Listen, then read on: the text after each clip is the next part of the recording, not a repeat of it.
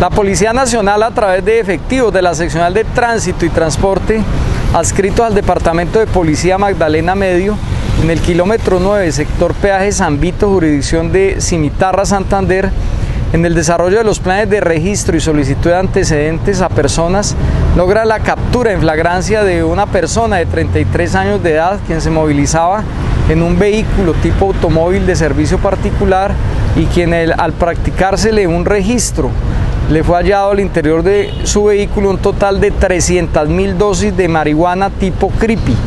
las cuales eran transportadas mediante la modalidad de caleta en el baúl del automóvil.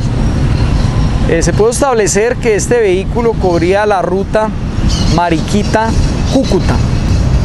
Capturado fue dejado a disposición de la Fiscalía General de la Nación por el delito de tráfico, fabricación o porte de estupefacientes donde un juez de la República definirá la situación jurídica.